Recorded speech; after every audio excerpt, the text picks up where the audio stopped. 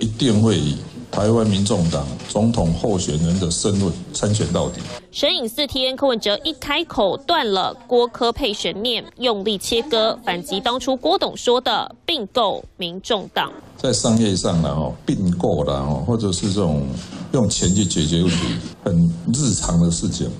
但是政治还是很难，单白合的，或是什么什么波哥和一大堆这样，讲到最好像都是权力的分配，从来没有去涉及这种价值理念。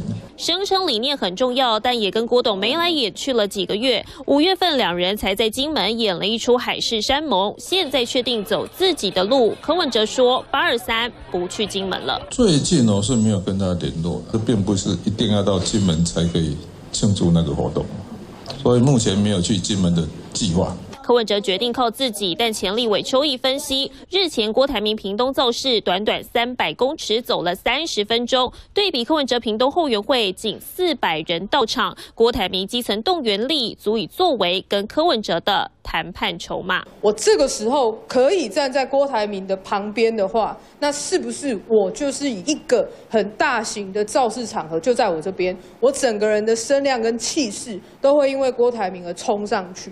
那目前为止，柯文哲到现在还没有所谓这种大型的组织活动。柯文哲党主席就是我们唯一的母鸡。那在跟小鸡上面该如何来做一个搭配，我们也会持续努力。至今都是靠一人拉抬全党声量。柯文哲代表民众党选到底，无需再炒蓝白和郭科配，菲律登山，各自努力。三立新闻李维婷他们军特报道。